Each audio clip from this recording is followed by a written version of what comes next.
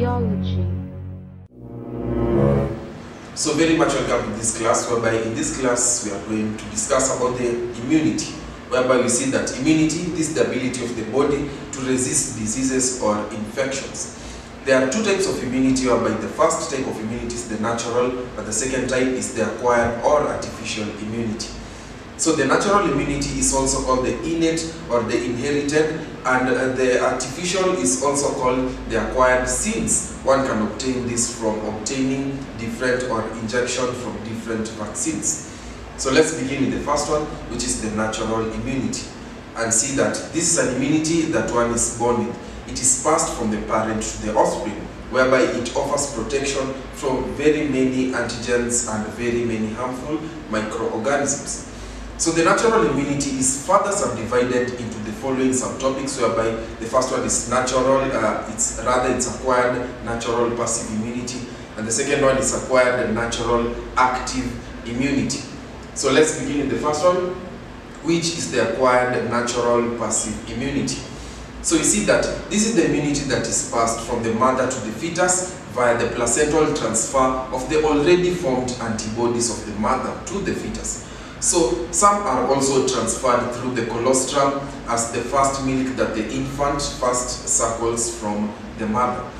So let's look at the next one which is now the acquired natural active immunity and say that this is the immunity formed when an individual has come into contact with an antigen naturally and uh, the body has actively produced antibodies against it.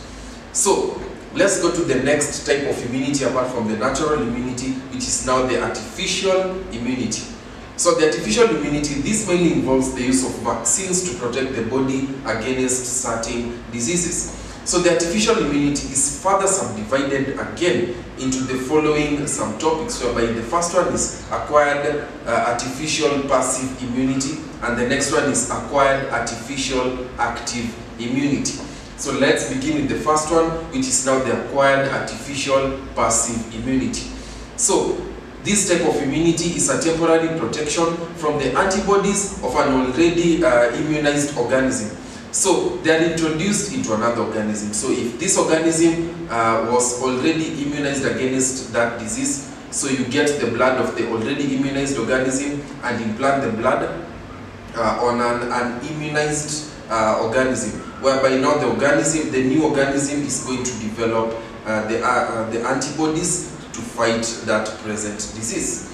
So let's look at the next one, which is the acquired artificial active immunity whereby you see that this is the deliberate introduction of an antigen into the body of an organism to allow the organism to form its own antibodies against the organism. So it might be said that you are being injected with a disease so that your body can be able to produce anti, uh, the antibodies against the foreign, the foreign harmful microorganism. So let's define what is an antigen and say that an antigen is a chemical that causes the production of antibodies in the animal body. So they may also lead to different allergies or different diseases. Let's look at the different types of antigens that we have because we have many different types of antigen. So the first type of antigen is the vaccine whereby this is the suspension of living attenuated or weakened microbial cells into the body. So the other type of antigen we have, we have the exotoxins, whereby these are toxins mainly secreted by the bacteria. We also have endotoxins, whereby these are cellular components of the bacteria. And then we also have isotoxin, uh, rather isoantigens, whereby these are antigens derived from one individual and placed into another organism. Then finally, we have the toxoids, where these are the detoxified toxins or weakened poisons. So far from immunity, let's look at now immune response, whereby we see that these are reactions involving the production of antibodies by the lymphocytes due to the presence of an antigen in the body.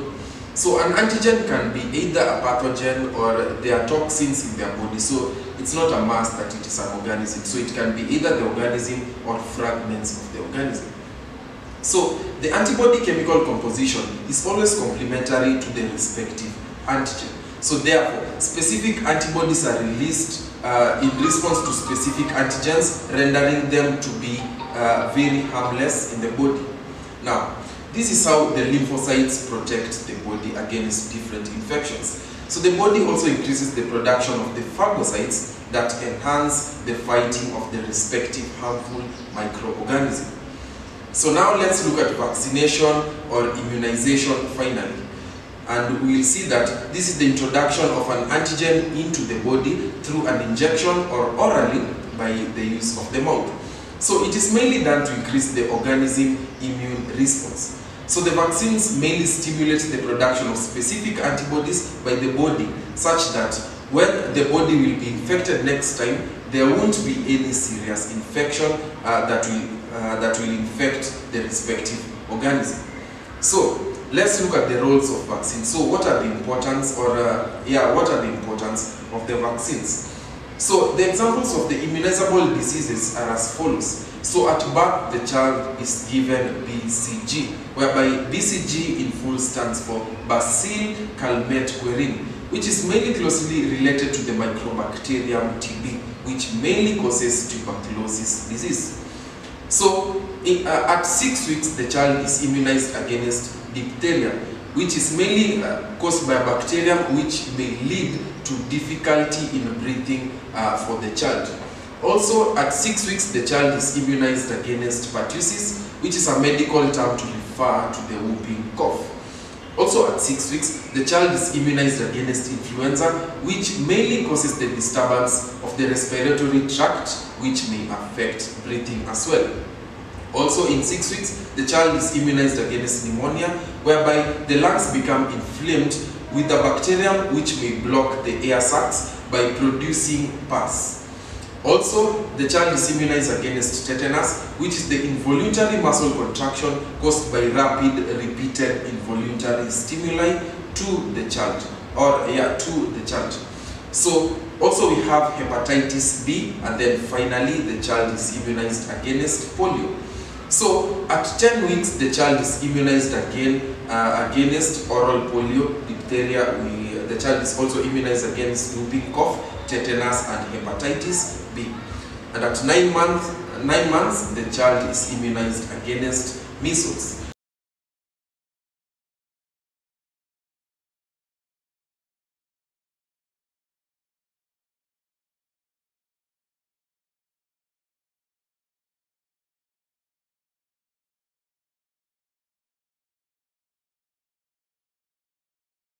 So now let's meet on the next class as we look on more regarding allergic reactions. Biology.